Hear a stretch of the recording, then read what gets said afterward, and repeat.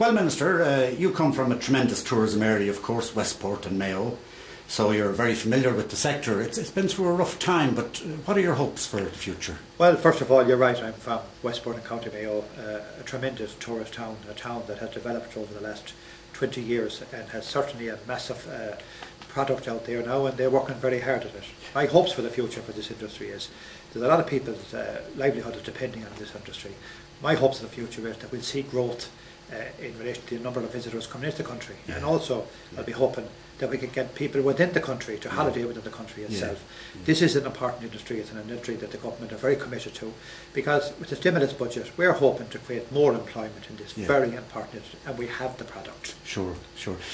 You touch on a very interesting subject there, the domestic market, and it, of course it is very important to the industry, but it's hard to be positive about the domestic market presently, isn't it? Or well, no, recent, uh, Ireland have done reports recently, and I mean, from them reports, uh, 33% of people that they actually talked to said they were going to consider having their holiday in Ireland this yeah. year. As you know, two thirds of the bed nights are taken up by the domestic market. That's great. And I'm pushing very hard the domestic market. And what I'm asking people to do is two things. If they take two weeks holidays in the year abroad, I'm asking them this year to consider taking one week in Ireland. That's good.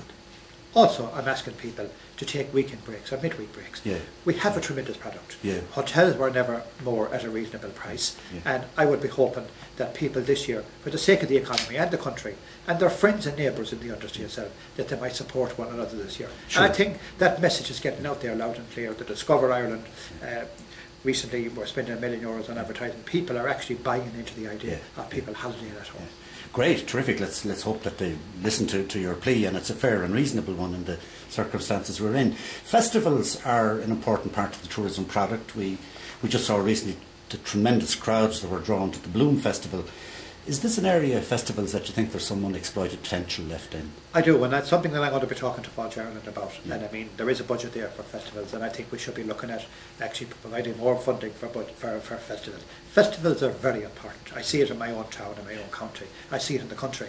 Yeah. Uh, when I go on holidays myself, the first thing I look out for, I look out to see what's actually going on in that area. Yeah. And you know, as Minister for Tourism, I, I, suppose I'm somebody that, that for the last 30 years, I think once in 30 years I've gone abroad on holidays. Yeah. I stay in holidays in Ireland. Yeah. Killarney is the real winner and sure. West Cork. Yeah. I'd love to go on Mayo, but you can't go on holidays at home. You have to go. You have to go. I love Ireland. I think we have a great product. And it's not even about the weather. We have everything. Sure. And, uh, of course, the value is there now. But that's right. And every corner of this country you go, yeah, when we cannot support every festival, what I am saying, sure. we have some major festivals out there that we should support. You know, there is a good image for the country. People sure. and there's one thing about festivals, and particularly people taking part in festivals. People, you know, come out. They they're in good form. Yeah. They, they sell the country well, yeah. and you know there's no better event of a festival either in, in a rural part of the country, in the city, or it doesn't matter where it is. Sure. Festivals are good for the country, and I would be hoping that Fáilte Ireland will be putting more money into that over the next number of years. Terrific. That's good to hear. Um, you've been a little bit critical in recent times about some hotel pricing. Is, is it not the case that many of the much of the current pricing is, is unsustainably low and that hotels must get some increase in rates if they're to recover? Well, yes, I can't control what uh, hotels sell the prices at, and I cannot control if they're selling them at a very low price either. But I think where they have the difficulty is coming from a very low base to a very high base when there's events on in a particular part of the country at a particular time. That's what creates the wrong impression. And you know, recently, yes, I've been critical of the hotels, but if I have, I've got massive support throughout the country, and recent festivals that took place in Dublin, the recent Europa Cup of final, mm. not good for the industry. I'm working with the industry. Sure. I want to support the industry. We're putting our money where our mouth is. Yeah. The government have brought in the stimulus package. We're promoting the country internally. Yeah.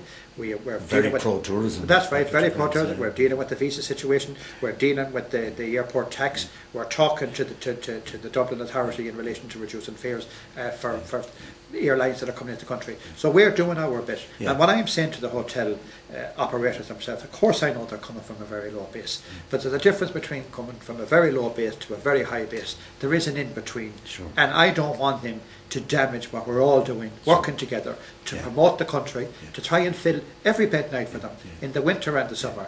But there's no point them trying to fill their bed nights and get their, their, their results in a very short period. That's damaging for the industry. Okay, understood. And it has to be a collective effort, of course, to get back to where we want to get back to anyway. Uh, correct, and I, I accept that the, the price the price range is what they're selling at the moment is, is not sustainable. But there is an in between. Sure. Not at the top rate. There is an in between. Okay.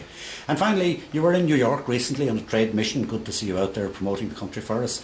How, how did you find things there? Is the US market uh, recovering? Well, it is, and the great news I have for, for, for the industry, the, the, the number one, the goodwill that's out there for Ireland is just unbelievable. And Americans love coming to this country, and they're not worried about the weather. They just want to come to the country. Yeah.